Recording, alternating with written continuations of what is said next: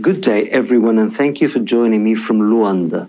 I am delighted to be here for the FT Africa Summit keynote interview with His Excellency, the President of Angola, João Lourenço. Senhor Presidente, muito obrigado por receber o Financial Times aqui no Palácio Presidencial de Angola. Ok, muito obrigado. Bom dia. Bom dia. Senhor Presidente, vamos começar com uma, com economia. A agência Moody's aumentou Aliás, aliás, o jornal está mesmo virado para economia e finanças. Totalmente. Então, sempre vá... é apropriado. Mas a agência Moody's eh, recentemente eh, aumentou as, as classificações de crédito de Angola e há muitas expectativas sobre a recuperação econômica após a recessão dos últimos anos e a pandemia.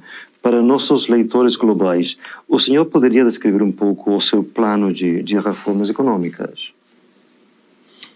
Bom, o, o plano de reformas econômicas de Angola, é, econômicas e não só, uma vez que nós consideramos que a reforma deve ter, sobretudo, dois, dois grandes objetivos, que é o de fortalecer o, o Estado Democrático de Direito e implantar no país uma verdadeira economia de mercado, no, de formas a não, direi, não sei se direi restituir ou se entregar ao setor privado da economia o, o seu verdadeiro papel para que possam funcionar como o motor da economia.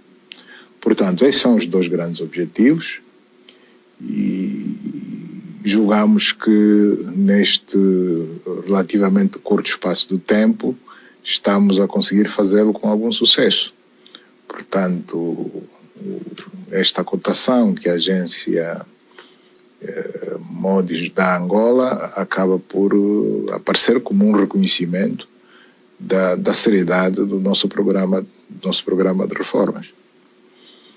Isto foi conseguido, conseguimos não, não trabalhando sozinhos, como é óbvio, mas, sobretudo, trabalhando com o Fundo Monetário Internacional, sabe que temos um, um programa de financiamento ampliado com o fundo, que começou em 2018, termina em breve, tanto em dezembro do, do, do corrente ano, e nós consideramos, e creio que eles também, o Fundo Monetário Internacional, consideram que o programa tem sido até aqui um, um, um sucesso.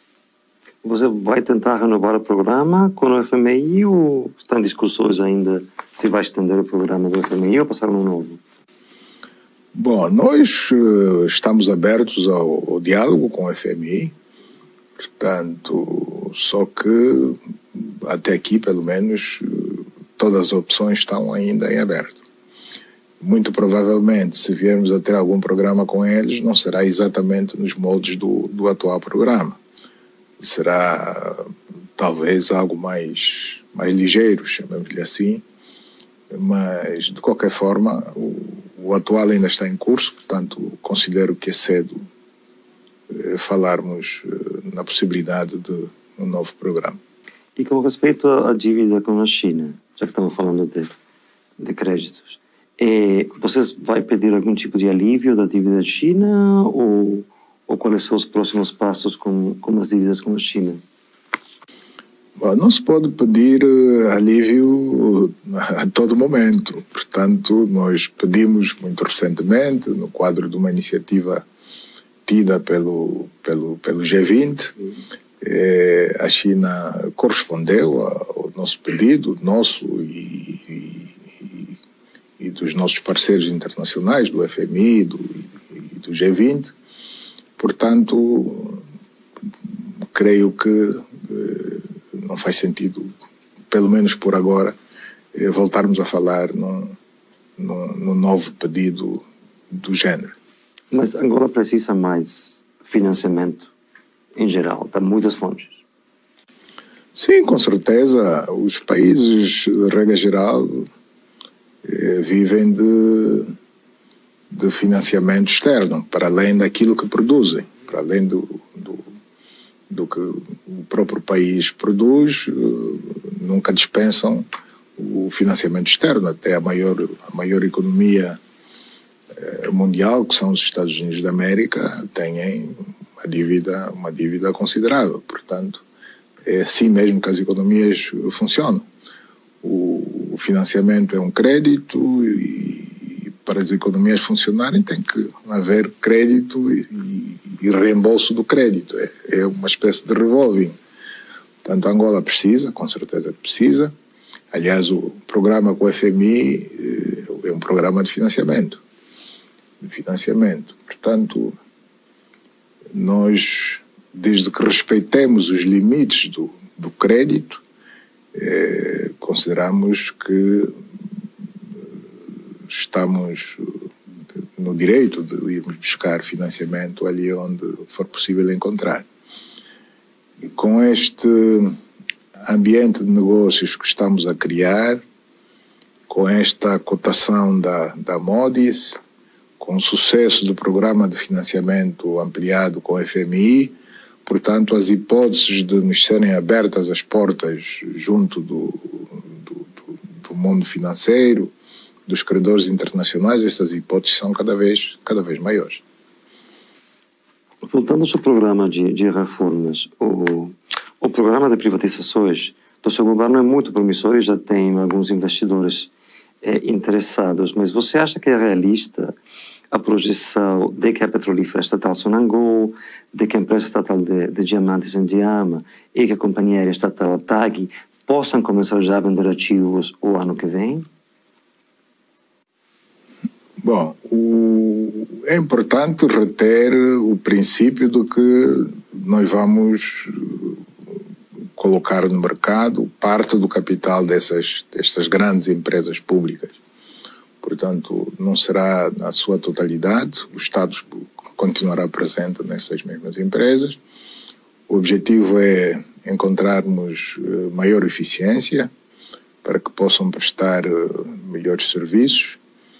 Eh, em termos de, de timing, pela sua dimensão, temos que ir com mais calma, Aliás, estão qualquer uma delas, as três, portanto, os, eh, Sonangol, Endiama e Sodiam estão num processo de reestruturação, eh, mesmo para prepará-las melhor para este passo importante que é o da privatização de parte do seu, do seu capital.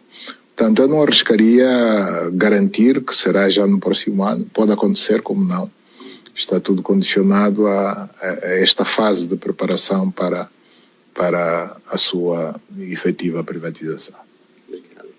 Nesse ponto das privatizações, é, tiveram muitas mudanças positivas na revisão da Constituição recente, que dá independência ao Banco Central, mas nosso entendimento é que também tem um marco que pode dar mais autoridade ao Estado a nacionalizar algumas algumas, alguns ativos ou algumas companhias. Isso é para alguns casos em particular ou pode acontecer com qualquer ativo que se privatize ou que já foi vendido? Bom, é, em primeiro lugar, gostaria de deixar a garantia de que eh, a Constituição revista não dá ao Estado maior autoridade para, para tratar deste assunto. É, portanto, a possibilidade de nacionalização é, acontecerá eventualmente em casos muito pontuais, eu até diria mesmo em casos muito excepcionais, é, apenas naquelas situações em que haja a necessidade, não, não diria o interesse, mas a necessidade absoluta de, da salvaguarda do interesse nacional. Portanto, como regra, em princípio, não é para se mexer. Portanto, como regra, Angola não nacionaliza. Ah, como regra, Angola de hoje. Como regra, sim, senhor. Você falou antes do, do que o país produz e Angola é um país petroleiro, mas o preço do petróleo tem subido após uma forte queda, é, mas a produção de petróleo em Angola está em declínio e isso acontece no momento em que em que o mundo está tentando deixar os, os, os combustíveis fósseis. É, Senhor Presidente, qual é o plano da Angola nesse momento particular da história do mundo, basicamente não somos da Angola, para diversificar, para primeiro trazer mais investimento para a exploração de petróleo, mas também para começar já a diversificar da, da indústria petrolífera, a economia em geral? Bom, nós estamos a fazer as duas coisas em simultâneo.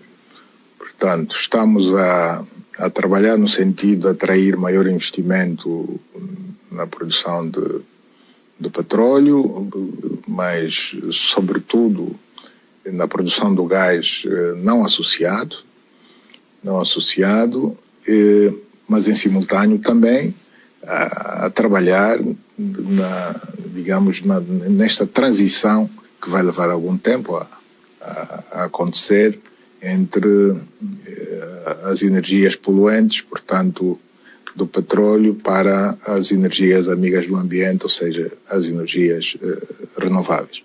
Portanto, os, o, os dois projetos têm que, têm que seguir em paralelo.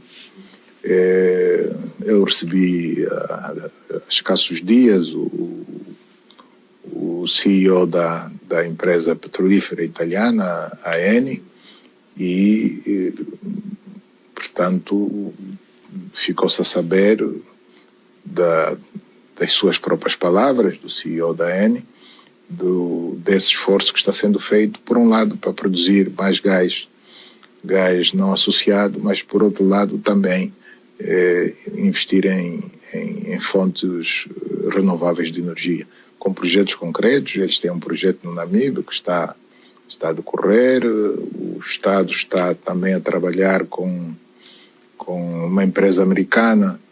Acabamos de assinar agora em Washington um memorando de entendimento para eh, projetos de produção de energia solar num valor considerável.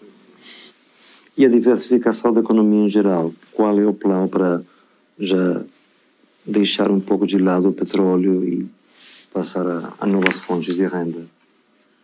Bom, o, o programa de privatização dos ativos do Estado são já uma parte desta nossa eh, nossa política de diversificação da nossa economia. Portanto, queremos eh, tornar mais eficientes uh, todos aqueles ativos que até agora estavam em poder do Estado e passá-los para o setor privado no sentido de que produzam mais e melhor bens e, e, e serviços de todo tipo, em todas as áreas praticamente. Portanto, isso é um processo que está em curso, das cento e tal empresas por privatizar, é, pelo menos um terço delas, cerca de um terço, já, já foram privatizadas. As outras é um processo que vai continuar. É, da diversificação da nossa economia, que deve acontecer em todos os setores, mas gostaríamos de destacar o setor da agropecuária. Portanto, a agropecuária, o turismo, o turismo eh, são setores onde nós prestamos uma atenção muito, muito, muito particular. Queremos desenvolver esses dois setores, uh, digamos, em termos de velocidade, se calhar a uma velocidade maior do que a, a de outros setores. No agropecuária, vocês podem ter parceiros, Brasil, que ganha agropecuária, Argentina, Estados Unidos, países que para investimentos no, no setor agropecuário? Seriam investimentos locais, estrangeiros? Sim, nós, nós pretendemos, eh, portanto, para nós é bem-vindo o investimento em agropecuária, quer seja investimento, investimento de, do setor privado nacional, quer do setor privado estrangeiro. Portanto, as duas coisas devem acontecer. Há manifestações de interesse, para nós o que importa é que sejam os privados a fazerem isso e nunca o Estado e, e não fazemos diferença entre ser um privado nacional ou um privado uh, estrangeiro no quadro do, do investimento estrangeiro. O carro-chefe, falando assim da gestão do senhor presidente, é a luta contra a corrupção. E onde estava Angola nessa frente quatro anos atrás e onde está agora? Bom, eu diria que a grande diferença em, matéria de combate à corrupção e, e à impunidade, a grande diferença nesses três, quatro anos é que antes falava-se do combate à corrupção. Portanto, não somos nós que começamos a falar da necessidade do combate à corrupção agora. Portanto, vem-se falando disso há anos. A diferença é que falava-se, mas não se fazia. E hoje fala-se e faz-se. E faz-se a todos os níveis, eh, contra grandes e contra pequenos. Portanto, esta é a maior diferença. De resto, a nível do partido, sempre houve a intenção de. Houve o reconhecimento de que havia corrupção, corrupção galopante, esse reconhecimento sempre existiu. É, o reconhecimento da necessidade de combater, não deixar as coisas como estavam. Só não havia, digamos, é, eu diria que era a coragem para efetivamente fazê-lo. Nesse sentido da, da, luta contra, contra a corrupção, a filha do seu predecessor, Isabel dos Santos, ela acusou o senhor de uma vingança pessoal contra ela nas cortes britânicas. Qual é o comentário do senhor a respeito desta acusação? Bom, o meu comentário é que pessoas a contas com a justiça em Angola são milhares. Portanto, comentar apenas a respeito de uma pessoa eh, talvez não seja muito justo. Não seja muito justo porque eh, se alguém persegue quem, quem terá prejudicado terá prejudicado os interesses do Estado e concomitantemente os interesses da, da sociedade angolana, é, é, esse alguém só pode ser a justiça. Só a justiça é quem tem essa vocação de perseguir. Perseguir para fazer justiça. Portanto, isto não é um papel que cabe a nenhum chefe de Estado do mundo, portanto, nem mesmo ao chefe de Estado de Angola. Seria um caso um caso bizarro, né? um caso inédito, que fosse o chefe de Estado a cumprir o papel das polícias, da, do Ministério Público, dos tribunais. Eh, eh, essas instituições, sim, têm, têm essa, essa responsabilidade. Ainda sobre a família do seu antecessor, José Eduardo Santos, ele regressou recentemente em Angola. O senhor já falou com ele? Ou, para saber assim, por que ele voltou? E para alguns analistas, a volta dele é sinal de que o MPLA, o seu partido, está dividido é, para as eleições presidenciais do próximo ano. É assim? Bom, eu nunca deixei de falar com o meu antecessor, com, com o presidente Eduardo Santos. Eu nunca deixei. E, e devo dizer que ele também nunca deixou de falar comigo. Nenhum, nem outro. Portanto, onde é que se foi buscar essa ideia é, é, não sei. Eu, portanto, ele esteve cerca de dois anos fora por razões de saúde. E talvez fosse bom recordar que na véspera da saída dele para a Espanha, naquela altura, eu saí daqui deste edifício do Palácio Presidencial e fui ter com ela a sua casa no Miramar não é muito comum ser o chefe de Estado em funções a, a ir, digamos, cumprimentar, conversar com, com o chefe de Estado cessante. É, eventualmente encontrar-nos íamos num local neutro, mas é, não foi o caso. Eu fui suficientemente humilde a ponto de ter com ele. Portanto, esta relação mantém-se. Eu não tenho absolutamente nenhum problema com ele. Às vezes pretende-se criar um problema que não existe. O facto de ele ter regressado é, é bom, é bom para todos, não apenas para a nossa relação, mas é bom para o país, é bom para o nosso partido. Nós, nível do partido, eu sou presidente em funções, e ele é o ex-presidente, aliás, até ganhou o título de, de presidente emérito. Portanto, não temos como deixar de ou melhor, não temos como continuar a nos relacionar e, e da melhor forma, da melhor forma possível. Dizer que o regresso dele pode representar uma divisão no seio do partido, se tivermos em conta, em conta que país vai ter eleições no próximo ano, eu acho que antes, antes pelo contrário. Antes pelo contrário. Se ele não, não regressasse ao país, é que haveria talvez razões para pensar que, que havia alguma mágoa, havia eh, alguma intenção de, de dividir o partido mas eh, não existe essa divisão e eu devo garantir que se há quem eh, nunca trabalhará neste, neste sentido da divisão do partido é precisamente o, o presidente Eduardo Santos. Você viu ele já de, de, de quando chegou, não? Não, não vi, falámos, okay. ONU, creio que 48 horas depois eu viajei para, para as Nações Unidas, para Washington, depois a visita oficial à Espanha, cheguei ao excessivamente uma semana, portanto, havemos de nos encontrar. O Neto dizia, havemos de voltar, para este caso concreto, estou a dizer, havemos de nos encontrar. Falando do, ah, do cenário eleitoral é, do ano que vem, e os recentes protestos que tive aqui em Luanda e a formação da, dessa Frente Patriótica Unida são um sinal que os, os angolanos querem uma, uma mudança em relação à MPLA?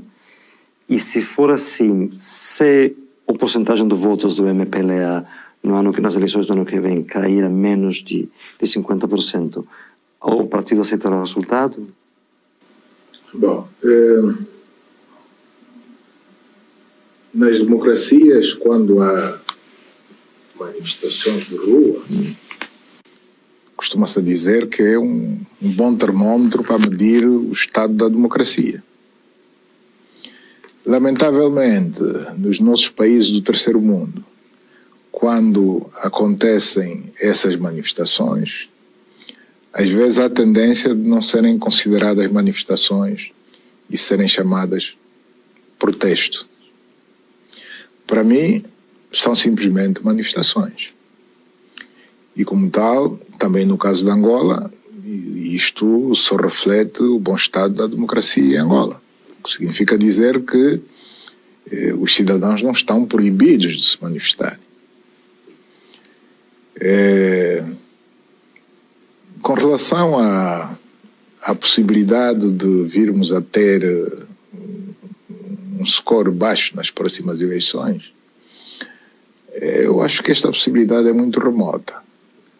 Para quem conhece a realidade do nosso país, acompanha a política nacional, eh, compara o estado de organização do, do partido que é maioritário no parlamento neste momento, que é o MPLA, e compara o estado em que se encontram os partidos da oposição, facilmente concluirá que essa probabilidade que adianta é muito remota.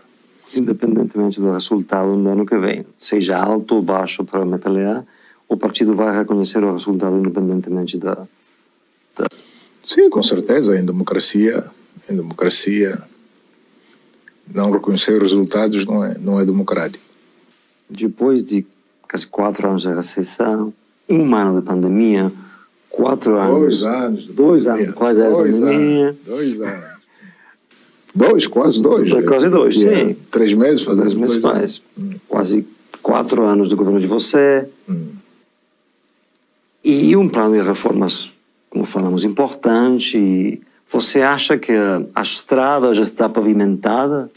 Na Angola ou que precisa? Ainda não está pavimentada, ainda tem alguns buracos, mas é, nós estamos otimistas e, como se costuma dizer, depois da tempestade vem a bonança.